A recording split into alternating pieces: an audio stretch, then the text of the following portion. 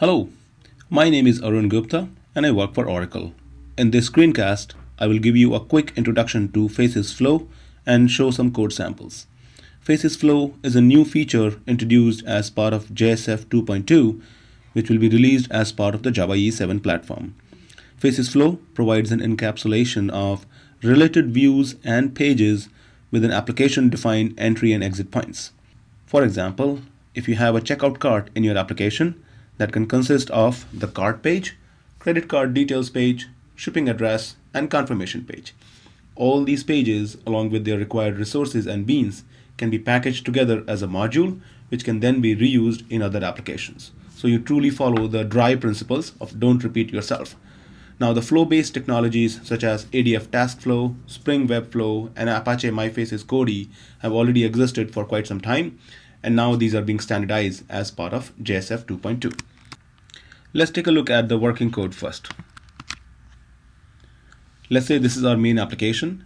In the application, we have the concept of main application, of course, and then explicitly defined entry point. Now, in our case, we can say enter flow one, and this is our explicit entry point.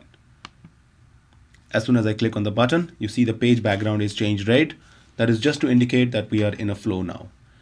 We have first page in the flow here. We have a corresponding backing bean, and it also says has a flow, which is true. Click on next. We are still in the same flow. The page color is being red we see the flow bean name we can enter some values here and then click on next the value that we entered stayed in the scope of the flow and that is being already displayed over here now here is my explicit exit point from the flow so if I click on home it takes me back to the main application so explicitly defined entry and exit point and then the entire module is reusable now let's take a look at the code in the IDE. In NetBeans, this is my Maven project, web pages. If I take a look at my index.xhtml, this is, it says outside of flow, that's my main application.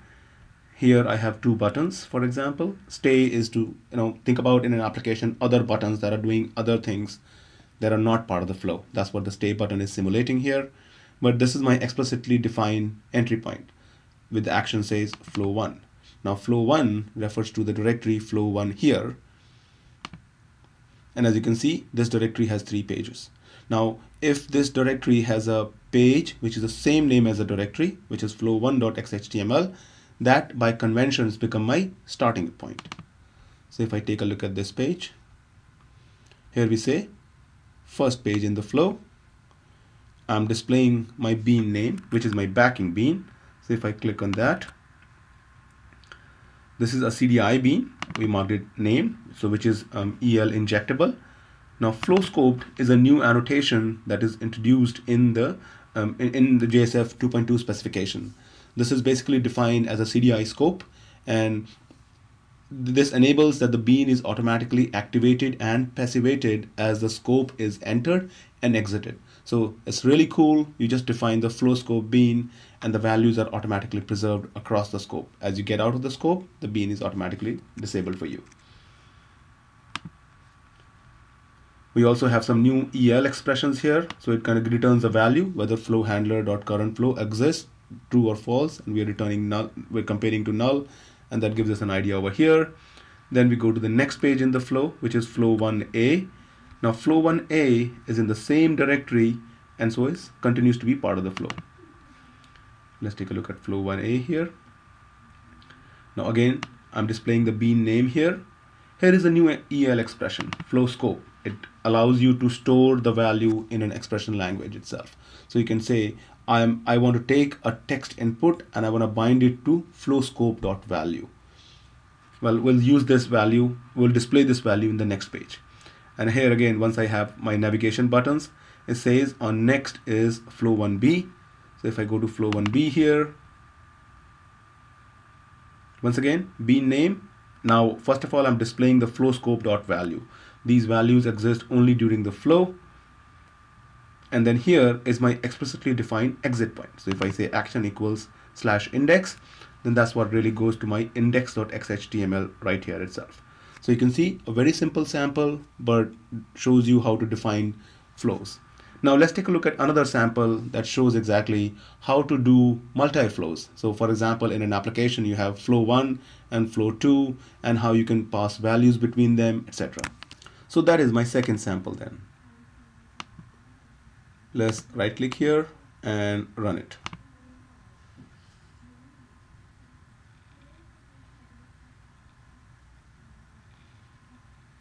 And now similar application, but I can explicitly enter flow one or flow two. These are completely reusable modules. So you can take and all the resources required for enter flow one, package them as a jar file or a zip file, and then they can be utilized in other web applications as well.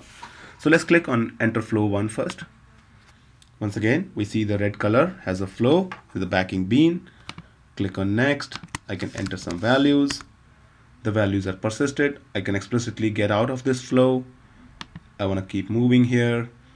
And here my flow ends. Now either I can return back to my page or I can return, I can enter flow two. So you can go from one flow to another flow. So let's explicitly enter flow two here.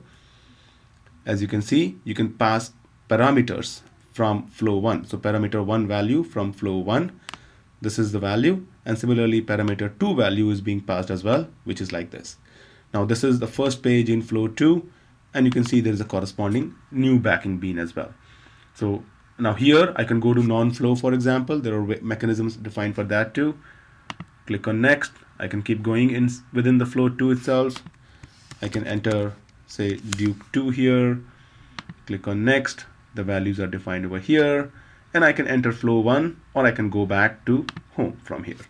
So very simple. Let's take a look at the corresponding code now. So here I have two directories, flow 1, flow 2. Here I have an index.xhtml page. This is where I can return from. This is my non-flow page. You could have multiple pages packaged in your application and there are different mechanisms defined for that. In flow 1, that stays as is. There is a flow1.xhtml which becomes my default starting page for the flow. And then I have flow 2 now I can define the let's say if I don't want to follow the conventions for some reason then I can explicitly define the flow of the page. So if I look at um, and that is actually defined by directory name dash flow.xml so in this case flow2 dash flow.xml I go down, you can see there's a metadata defined here. I can define the flow definition. I can say, you know, what do I want to do if there is a return from the page. I can define some inbound parameters. I can define outbound parameters. I can say I want to call flow one from flow two. So it's a full metadata that you can describe here, which will define how the flow will look like. If I look at the source packages, I can also define this flow using a flow definition, which is yet another new annotation introduced in JSF 2.2. I can define the flow. It's a builder API. So I have a flow builder. I can say this is my starting node. This is my return node, what the parameters are. I want to call flow 2. All of that can be very easily defined over here. Flow 1 bean, very simple. Just define in flow scoped. Similarly, flow 2 bean flow scope and we define the identifier of the flow 2 over here.